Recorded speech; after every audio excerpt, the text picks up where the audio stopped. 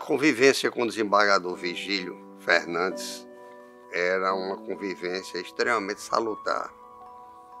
Era rica, primeiramente, em face da sua simplicidade como pessoa, depois pela sua sensatez e, por último, da sua alegria de viver e conviver. Como características que se sobressaíam, eu posso destacar a forma gentil no trato com as pessoas, o lado humano como profissional do direito e também uma pessoa cativante, é, sorridente, leve, muito agradável. Eu defino Vigílio como um homem ético, um homem, um, um excelente pai.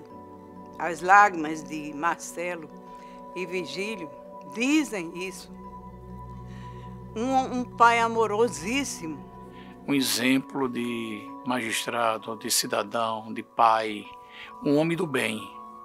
Vigílio nasceu para fazer o bem. Vigílio era um homem é, além dessa época.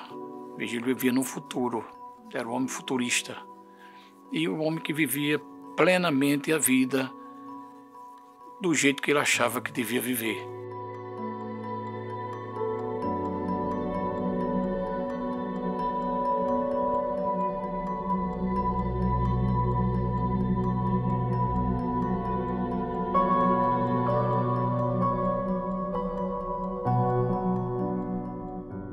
Desembargador Vigílio, ele nasceu em Natal, ele é natalense. Ele nasceu no dia 14 de agosto de 1959. É, ele tinha uma família de nove filhos. É, a mãe dele, Dona Maria, ficou viúva, é, muito nova, e criou todos os filhos. Digno, uma missão, um homem maravilhoso, um homem que quantas vezes eu vi Vigílio ali na igreja de São Pedro com a mãezinha dele para assistir às missas. Eu nunca, eu vou muito à missa em todo canto, mas eu nunca vi, eu vi, eu vi vigílio com aquela, aquele amor, aquela dedicação, aquele afeto, aquela ternura transbordada ali naquelas missas. Na vida pessoal, o desembargador Vigílio era uma pessoa de muita fé. Ele era, ele era muito humano, ele era muito, ele quando ele sabia que alguém estava precisando de alguma coisa, você não precisava pedir ele se fazia presente. Vigílio, enquanto amigo, foi tudo aquilo que se espera de um verdadeiro amigo, em todos os sentidos. Eu diria que foi um amigo completo, um amigo de todas as horas, um amigo da boa palavra, da boa conversa. Então, enquanto amigo, eh, ele reunia todos esses predicamentos que se completam né? E que engrandecem as verdadeiras amizades. Vigílio, togado, ele seguia todas as formalidades, todas a, a, toda a liturgia do cargo.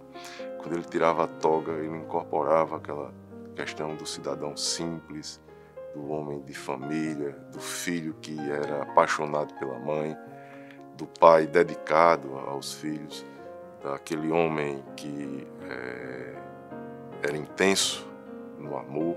Ele foi intenso com Patrícia, sua, a mãe dos seus filhos. Foi intenso no último ano com o amor que viveu com, com Clarice. Então ele era intenso. E como jurista, ele trazia toda essa intensidade para se dedicar na atividade que ele exercia com tanto amor.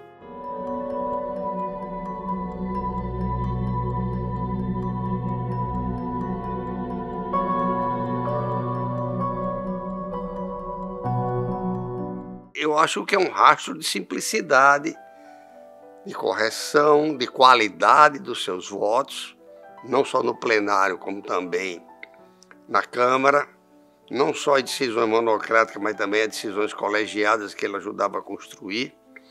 E isso é um, significa uma passagem indelével aqui na, no Tribunal de Justiça do Estado do Rio Grande do Norte. O desembargador Vigílio Macedo não era um amigo, era um irmão. Nós tínhamos uma amizade de 48 anos. Nos conhecemos, eu trabalhando em cartório e Vigílio trabalhando na Procuradoria do Estado. com o cunhado dele, doutor Fernando Gomes. E isso foi se consolidando. Né? Estudamos um pouquinho para concurso, e Vigílio passou para concurso de delegado. Eu já estava na magistratura. E depois Vigílio resolveu também fazer o concurso para magistratura. A nossa amizade, a nossa aproximação, começamos desde quando ele foi nomeado juiz, eu era juiz do interior, certo? E estreitamos quando ele foi juiz de Areia Branca, eu era juiz de Mossoró, de Pau dos Ferros, e a gente viveu pelaquela zona oeste, certo? Vigílio era uma pessoa muito fácil de conviver, de bom trato, um amigo. Era uma, uma pessoa que tinha uma áurea muito boa, que transmitia alegria, que sobreviver. É uma pessoa que a gente não tem nem adjetivos para descrever em todas as áreas de conhecimento que travei com ele. Não somente na associação, quando ele foi presidente, que eu fazia parte do seu conselho fiscal, é, mas também na Universidade Federal do Rio Grande do Norte, onde ele por várias vezes foi homenageado pelas turmas concluintes, e nós somos colegas lá. Na Escola da Magistratura, eu acho que a Escola da Magistratura, SMARN, tem um, um divisório entre antes e depois do, do desembargador Vigílio, né? começou lá à altura como juiz, era diretor como juiz, mas também como, como próprio entregador da prestação jurisdicional, como juiz um juiz que, que não media distância para fazer o bom direito, para elevar a jurisdição da qual ele participava, seja na fazenda pública, como juiz monocrático, é, na, na, primeira instância, seja, seja aqui no tribunal. Conheci Vigília após entrar na magistratura aqui no Rio Grande do Norte. Vigília era de um concurso anterior meu, no começo a gente não tinha tantos, uh, tantos encontros e depois eles foram acontecendo e a amizade surgiu posteriormente. Mas o que eu tenho o recorde dele é que era um juiz que serviu de referência para mim e para muitos outros do estado, né? Assim, pelo que ele do modo, o modo como ele trabalhava, era um juiz ético, era um juiz que gostava da, do trabalho que fazia, muito correto, uma operosidade grande e também a dignidade. Virgílio era uma pessoa muito alegre é, e muito prestativa. Então, sempre que a gente se encontrava para bater papo, como se diz, ele trazia questionamentos, trazia lembranças é, que tinham acontecido com ele como juiz no interior, fatos às vezes até engraçados. Então isso nos marcou muito. Ele tinha uma personalidade bem, bem diferenciada. No campo de jurista, ele era uma, ele tinha uma mente inquieta. Ele sempre queria que o direito, a lei chegasse mais rapidamente para cobrir os anseios da sociedade, que a sociedade estava se evoluindo muito rapidamente nesses últimos, nessas últimas décadas, três décadas. E ele era muito inquieto, eu também era muito inquieta e ainda sou, é, então eu combinava muito bem com o pensamento dele. Ultimamente ele estava num lugar que fala com o povo, que entende a língua do povo, que compreende a ansiedade do povo. E é essa ansiedade, essa realidade que ele estava vivendo ali, na conciliação, que fez é, Vigílio crescer muito mais porque ele teve ali a oportunidade e a possibilidade de dizer: nós temos sim, como juízes, como qualquer papel que a gente desenvolva, olhar para aquele mais necessitado, os mais humildes. Vigílio e eu entramos no tribunal com pouco tempo de diferença. E por essa razão, é, no pleno, nós éramos vizinhos. Então, desde que entramos, que eu estou no tribunal, Vigílio praticamente foi o meu vizinho é, e muitas vezes é, era quem eu me socorria para algumas dúvidas em matérias que ele conhecia tão profundamente como direito tributário, processo civil. Essa convivência fazia com que a gente tivesse uma proximidade muito grande nos debates processuais dos feitos do pleno. Eu tive a oportunidade assim de ter uma aproximação um pouco maior que foi se acentuando quando eu vim realmente como desembargadora a trabalhar na segunda Câmara, né? integrando a segunda Câmara, convivíamos semanalmente e mais de perto e vi também que ele sempre se debruçou com muito carinho, com muito cuidado em cada caso que ele julgava, procurando dar um lado mais humano, é, resolver aquela situação que estava posta nos autos de um modo mais é, justo e mais correto possível. Ele tinha um objetivo de fazer o bem e esse bem tinha um norte maior que era a justiça. Então ele, o magistrado de atender toda hora, todo mundo, se dava bem com as partes, atendia advogados independentemente de marcação de audiência, e era um homem que julgava de forma muito objetiva, com muito fundamento jurídico. Vigílio tinha uma grande bagagem jurídica. Vigílio ele era um magistrado vocacionado.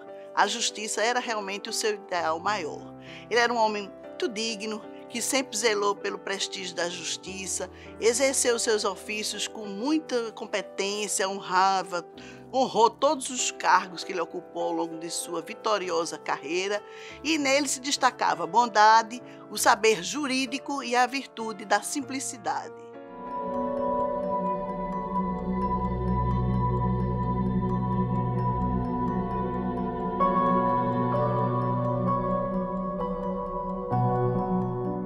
Ele é educador, professor, é, então ele compreendia é, a, a, atualidade das coisas, né? ele estava sempre bem informado e sabia muito bem é, compreender essa contemporaneidade né, do próprio judiciário, do, do, aplicar o direito, do saber tratar, do saber se, se corresponder ele assume em 1995 a direção da escola. Ele já vem com a ideia do curso de preparação à magistratura. Né? A princípio, é, nós éramos instalados onde era o Tribunal do Júri, do Tribunal de Justiça, e ele consegue, junto com a direção à época, que a Justiça Federal cedesse a, o arquivo deles, que ficava ali na Hermes da Fonseca, em frente à escola doméstica. E aí a gente faz uma mini reforma ali e a escola passa a funcionar ali dentro. Mas esse sonho de ter o prédio é, com, com salas de aula, com auditório, com laboratórios, né? naquela época a gente estava começando a chegar os computadores no Poder Judiciário, aquelas caixas enormes que chegavam. E aí ele dizia: um dia a gente vai treinar todo mundo é, nos sistemas do tribunal. Ele sempre foi um visionário. Vigílio foi quem estruturou a escola da magistratura. Foi diretor por vários anos seguidos. Na época, éramos Vigílio diretor, eu, o desembargador Ibanês e a desembargadora Sandra, que fazíamos a escola. Passa muito tempo junto com o Vigílio. É, e ele sempre foi, vamos dizer assim, o comandante dessa condução da escola e a escola hoje é a escola que é respeitada nacionalmente. A nossa amizade ela se consolidou na escola da magistratura, na nossa escola, na nossa Smarne, onde eu já estava desde a fundação, quando ele se tornou o diretor. E eu permaneci na equipe dele durante muitos e muitos anos de produtivos trabalhos. Eu, por exemplo, quando me tornei juiz em 80, eu me tornei juiz, fui nomeado fui direto mandado para a comarca. Hoje não. A escola não só prepara o juiz por iniciativa de vigílio, como faz um curso. Depois de pronto, é que o juiz vai para o interior. Então nós tivemos aí essa participação efetiva de vigílio como diretor da Escola da Magistratura do Rio Grande do Norte. Para você ter ideia, é, a diretoria da escola determinou que o curso de preparação da magistratura era um curso pago porque a gente não tinha a verba que hoje a Escola da Magistratura tem no orçamento. Então, não visava lucro, mas visava pagar os professores, a gente tinha que ter essa verba. Então, ele determinou que tivessem bolsas de 50% e de 100%. E aí a gente fazia uma, uma avaliação de currículos. Só que alguns ele conhecia a história. E aí ele dizia: olha, esse aqui, Cristina, precisa de bolsa de 100%. E às vezes a gente já tinha feito muitas vezes o levantamento de como é que seria 50% tantas de 50%, tantas de 100%. Ele fez, não, diminua as de 100% para que sobre uma de 100% para esse, porque esse precisa. Ele se identificava com o magistério e com a magistratura. E gostava muito de ajudar. A estagiário, quando precisasse, ele pegava muitos estagiários que a gente teve, era aluno que estava iniciando o curso desde o primeiro semestre, mas ele via que se aquela pessoa gostava de estudar, se ela queria, ele dava oportunidade, assim, na mesma hora, de imediato, porque ele queria que aquelas pessoas crescessem. Desembargador Vigílio foi meu professor de Direito Comercial. Eu tive uma experiência na junta comercial com o registro mercantil e trabalhei também como professor em universidade particular. Tive uma experiência e lecionei Direito Empresarial. Então também é, é, trocava algumas ideias e ele era muito culto, o desembargador Vigílio. Era um, ele tinha sua parte intelectual era muito desenvolvida. Ele tem uma experiência muito grande nessa área e realmente ele trouxe isso para o tribunal. Sob essa ótica, ele realmente teve muito a ensinar a todos nós.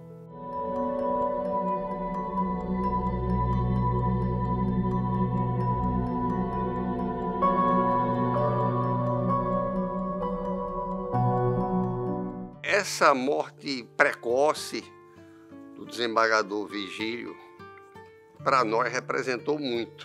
E eu gostaria de sintetizar esse momento na frase do poeta quando ele diz: O morto não é o morto, é a morte. A vida é um intervalo entre o que passou e o que passará. Intervalo morto entre a morte e a morte. E eu vivi a vida inteira. Somos todos mortais, com uma duração justa, nunca maior ou menor. Alguns morrem logo que morrem, outros vivem um pouco na memória do que os viram e amaram. Outros ficam na memória da nação que os teve, mas se a todos cerca o abismo do tempo, que por fim os some. Deus às vezes escolhe levar os bons logo e escolheu levar o desembargador Vigílio antes do, do nosso planejamento, né? Tem que o planejamento humano é um e o planejamento divino é outro. E ele fez isso com todos nós. Eu acho que estava precisando de um vigílio lá pelo céu. Ele deixa um legado, eu diria, em vários segmentos. É, notoriamente é, de como ser simples, generoso, saber ser magistrado e, sobretudo, é, saber ser leal. No judiciário, ele deixa um legado de que o juiz deve sempre estar atento às mudanças da sociedade e que ele pode ser é uma pessoa é, estudiosa, uma pessoa que o direito sempre esteve pautado na vida dele, mas que sempre ele foi generoso com os alunos, com os novatos que chegavam aqui no tribunal.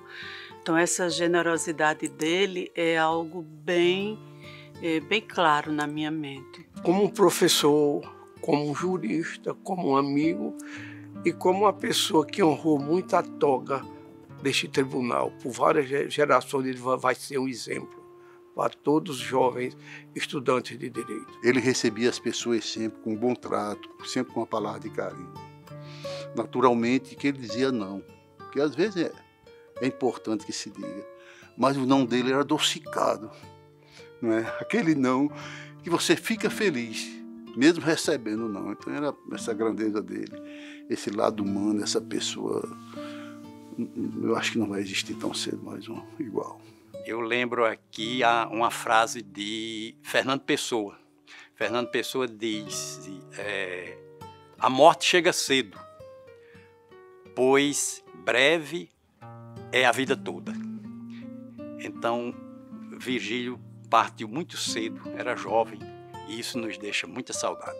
Uma lacuna enorme mas também um legado maior ainda. Entendeu? Ele vai ser um exemplo a ser seguido.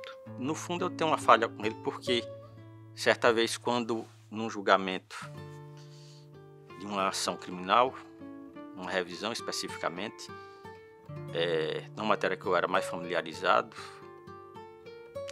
é, ele se posicionou dizendo que é, depois de é, fazer algumas reflexões, acompanhava a, a posição que eu defendia, por entender que eu tinha razão à frente de alguns outros colegas que, me, que divergiam de mim. E ele usou essa argumentação para defender o voto dele. Ou seja, colocando o meu entendimento como uma, uma orientação para o voto dele, digamos assim. Eu fiquei muito orgulhoso, envaidecido com essa situação, mas nunca tive a oportunidade de dizer isso a ele. Então, faço questão de fazer tudo para que em algum momento ele saiba disso.